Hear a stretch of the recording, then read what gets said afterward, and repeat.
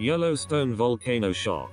How USGS scientists recorded sudden rise at Norris Geyser. Scientists at the United States Geological Survey, USGS, tasked with monitoring the Yellowstone volcano revealed during a live stream how the Norris Geyser was rising. Unlike the rest of the caldera, the Yellowstone volcano has erupted three times in history 2.1 million years ago, 1.2 million years ago and 640,000 years ago. Experts have previously revealed that, should an earthquake occur, it could take less than two weeks before a catastrophic reaction is triggered. As a result, Scientists from the USGS are constantly monitoring the volcano, on the lookout for any changes. In April 2018, scientist in charge Mike Poland, along with deputy scientist in charge Wendy Steele, hosted a Facebook Live event where they took questions from the public. During the broadcast, the pair revealed how the Norris Geyser inside Yellowstone National Park has continued to rise over the last few years.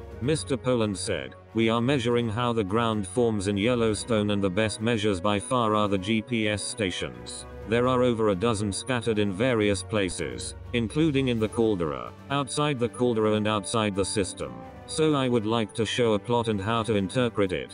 The expert then displayed some data to the camera, before explaining what it meant. He added, Here we have some data from a station near the Norris Geyser. We have the east deformation, the north and the up. The way you interpret this is in the east plot. If you see it going up, that means the station is moving to the east. If it goes negative it means it is moving west. If the north plot goes down that means the station is moving south and if it goes up, it is moving north. The up plot is the vertical deformation. If it goes down then the station is subsiding and up means it's uplifting. Mr. Poland then explained how the Norris Geyser was acting differently to the rest of the caldera. He continued, Right now it is in a period of uplift moving south and east. In terms of the overall caldera, it is subsiding, but Norris has these interesting events when it shoots upwards. It is the most dynamic place in the park and perhaps it is because of all the water that is under the surface. So we are monitoring it and while the caldera is going down, Norris is rising.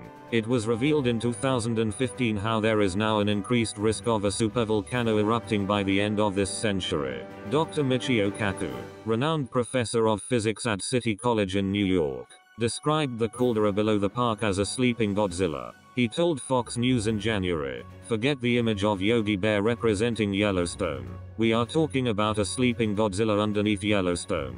If it erupts in a maximum eruption of category 8 it will literally tear the guts out of the US. Instead of having 50 states we would be left with 30.